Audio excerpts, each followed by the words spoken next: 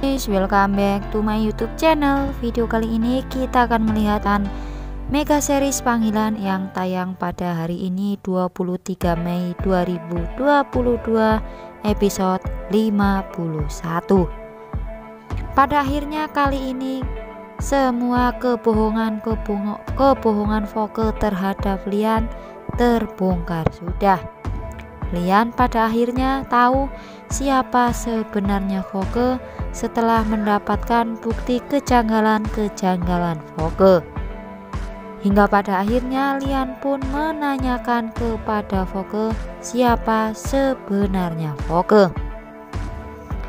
Kali ini Foke tak menunda-nunda membocorkan rahasia dirinya itu. Dan pada akhirnya Foke pun mengatakan kepada Lian bahwa dirinya adalah adik dari Remon yang notabene adalah musuh besar Lian dan juga ternyata kedekatan yang dilakukan Foke terhadap Lian hanya ingin membalaskan dendam masa lalunya atas kematian Randy calon suaminya itu.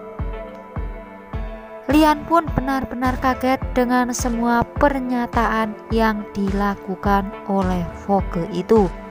Ternyata selama ini Foke telah membohonginya perihal adik dari Remon yang notabene benar-benar Remon selalu mengusik kehidupan Lian.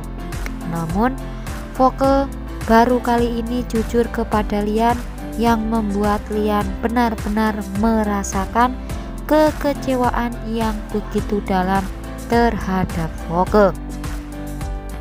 Kali ini pula, Lian meminta kepada Foke sampai detik ini pun dan sampai saat ini Lian tidak percaya dengan semua itu. Namun kali ini benar-benar semua telah didengar dari mulut Foke sendiri dan pada akhirnya Lian meminta kepada Foke untuk tidak lagi mendekati Lian dan juga keluarganya kembali termasuk Mala.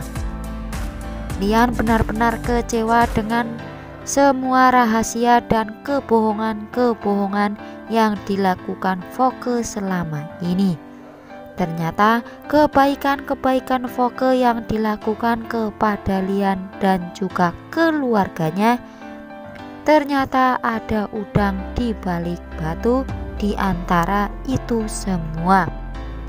Lian benar-benar tak menyangka karena selama ini sudah percaya dengan Foke yang ternyata adik dari Remon, musuh besar Lian yang selalu mengusik kehidupan Lian dan juga keluarganya. Kali ini pun Foke mencoba menjelaskan semuanya kepada Lian kenapa dirinya menutupi kebohongannya itu. Namun sepertinya Lian tak butuh semua penjelasan-penjelasan yang diberikan oleh Foke itu. Namun justru kali ini Lian lagi-lagi memperingati Foke untuk tidak kembali bertemu dengan dirinya dan juga keluarga Lian. Nampaknya Lian benar-benar sudah muak dengan kebohongan yang dilakukan Foke selama ini. Dan begitu rapatnya Foke menyimpan rahasia itu semua kepada Lian.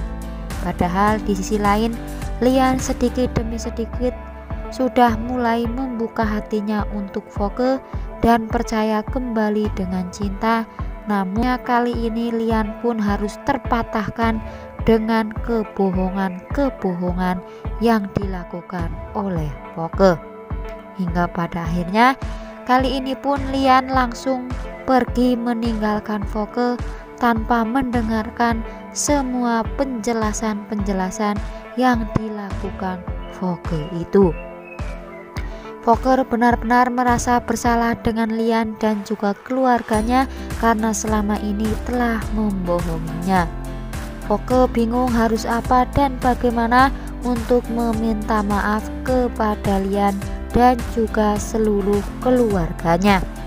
karena kita ketahui Lian dan seluruh keluarganya sudah benar-benar begitu baik dan juga peduli kepada Foke tetapi justru kali ini Foke membohongi mereka dengan menyembunyikan identitasnya sebagai adik Remon yang notabene orang yang selalu meneror Lian dan juga keluarganya itu.